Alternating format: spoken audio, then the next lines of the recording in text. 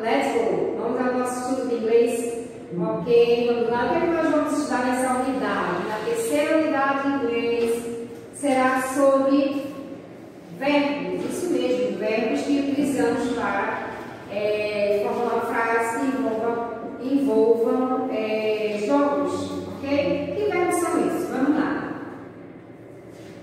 Aqui nós temos uma imagem de crianças né, brincando com a pequena, estão realizando algo, fazendo uma atividade né, física.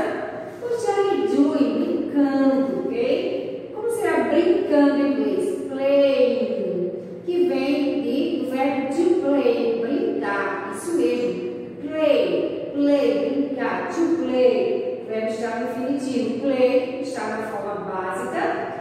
Play, está indicando que está algo no momento play, acrescentou ing, quer dizer que está fazendo atividade que é brincando, ok? O ing indica algo que está acontecendo no momento, é o present continuous, ok? Então usamos o play depois da, do verbo, ok? O verbo que no infinitivo vai ser conjugado, uma ação que está sendo realizada no momento ou há pouco tempo, então vai usar o ing no finalzinho do verbo.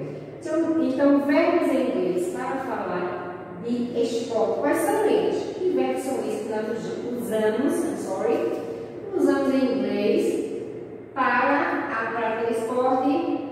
Que esportes são esses? Como é, é, no caso, cada tipo de esporte tem uma regra, né? Tem jogos que há dupla, outro tem várias pessoas no time, né? Tem futebol, tem voleibol, tem há jogos que são é, aéreos, né? Outros que ele vai jogando, como é, futebol, com o pé, né? Fute, pé, bola, futebol, ok? Então, esportes, é, os verbos que são usados para esporte são eles: play, do ou go, ok? Agora vamos ver como usá-los. Usamos o do, caso, para quê?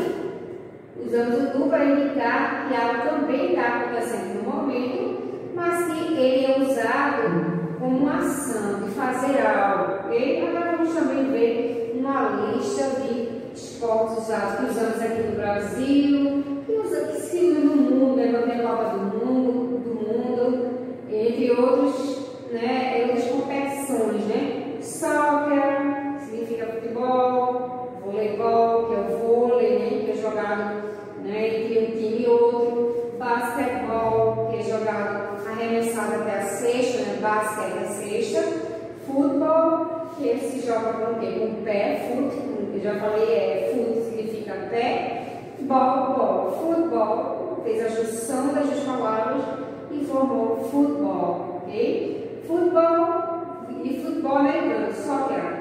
E swim, swim, natação, swim, nadar, swimming, natação, no caso swim aqui, tem a, é, ficou aqui, ó, repetida a letra N, por quê? Porque com a palavra swim, ela é monossilábica e as palavras monossilábicas em inglês, quando vai ser conjugada com ing, repete a última, a última consoante, no caso foi o N ali, e acrescenta-se o que? O ING, para indicar o algo que está acontecendo, nesse caso ali, repetir para indicar o significado na canção. Mas nós veremos também para casos em que indica o que está acontecendo no momento, que não seja é, natação, outro tipo de esporte, outro tipo de verbo, ok? Que vai acrescentar ING e vai ser uma palavra monossilábica, vai repetir a consoante e vai acrescentar o ING para o que está acontecendo no momento. Nesse caso aqui, swimming significa natação. Swimming,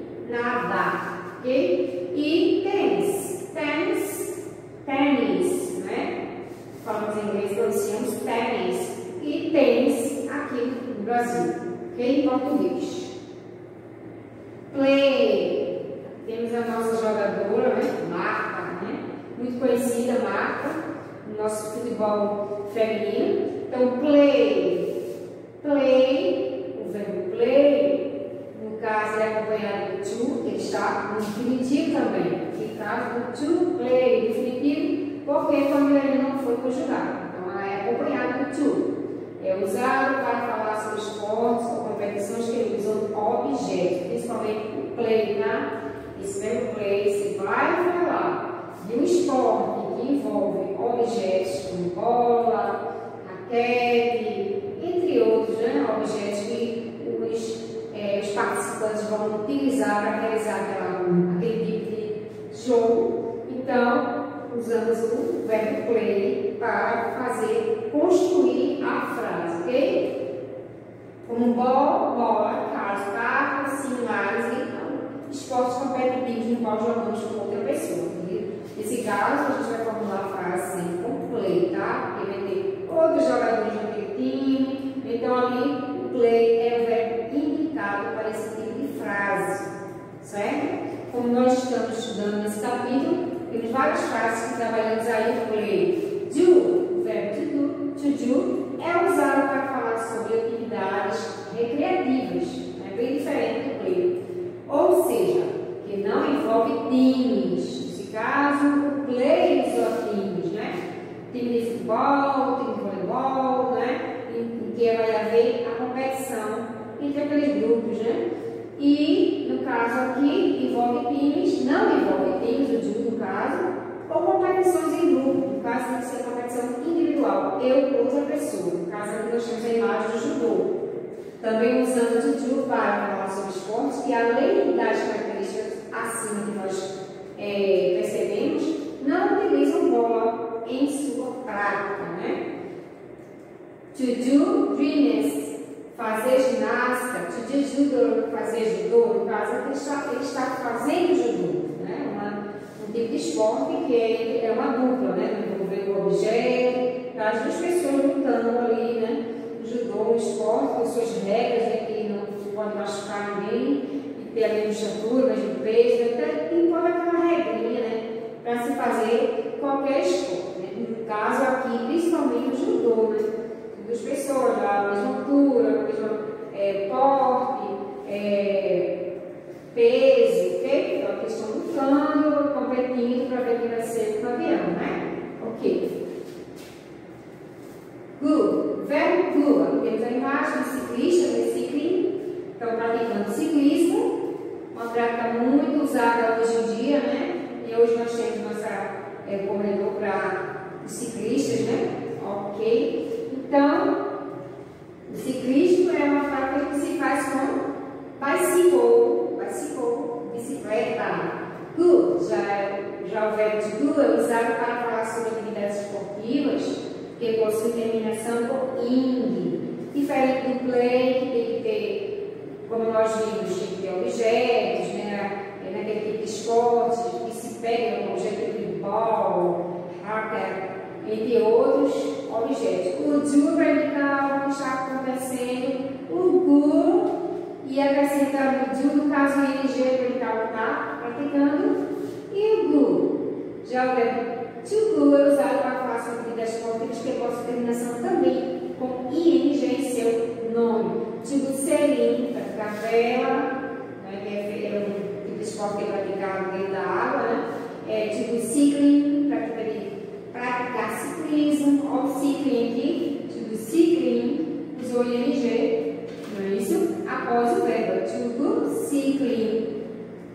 Praticar ciclismo, to do riding, praticar é, corrida, certo? Então, use ing sempre após o to do. Vamos lá. Toda regra traz uma exceção, certo? Aqui não é diferente, observe os casos abaixo. Steve Lopes, Steve Boxing, ela adora fazer box. Apesar de box terminar em ing, utilizamos o verbo to do.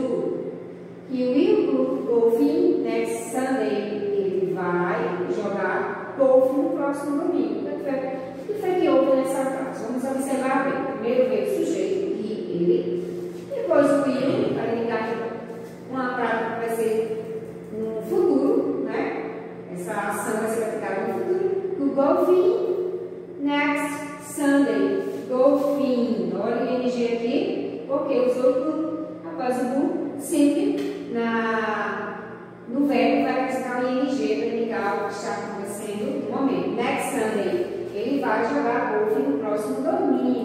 will indicou um fato futuro, né? Golfe é um esporte que necessita de objetos como a bola e taco, mas, diferente dos outros esportes que utilizam objeto, este é acompanhado pelo verbo to do. Então, observe essa regrinha aí, tá? O golfe é um esporte diferente dos demais.